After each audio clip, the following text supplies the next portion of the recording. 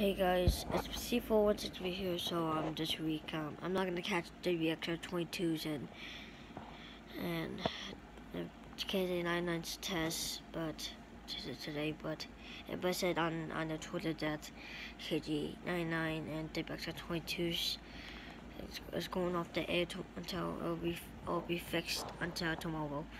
So um, I'm just gonna make this video that I can only catch KG 55 and KG 56 tests. I now know what time that they did test between 10:05, 10, 10 I think, to 10:05.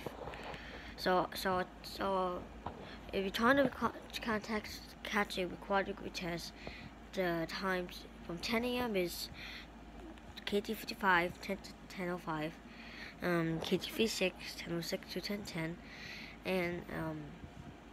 Galaxy 22s. It's kind of it's kind of does it after the KG6 test, like 10 like 10 10 to 10 15, and uh, like and KG99 take like a while while.